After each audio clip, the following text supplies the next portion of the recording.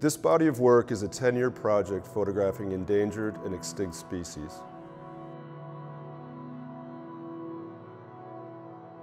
The inspiration for the project came when I was visiting with a curator in the birds collections in the Field Museum of Natural History in Chicago. He opened a drawer and in it was an extinct bird called an ivory-billed woodpecker. And you pick one up and you hold it and you just think, this is it. This species is gone. It doesn't exist now in the wild.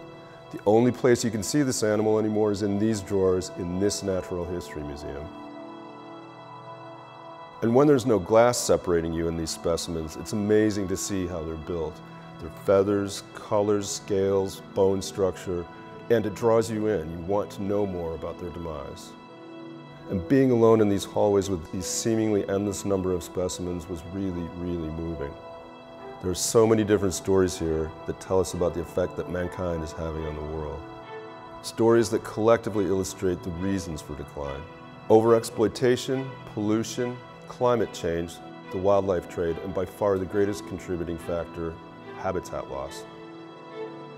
The ongoing loss of biodiversity and the repercussions of this damage will be wide and quite possibly catastrophic.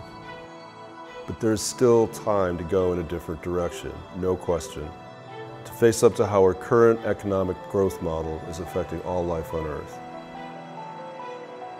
And I'd like to think that this project is an exercise in hope that it's not too late, and that it becomes a voice in a public chorus that is demanding more conservation measures and a better look at how we live our lives.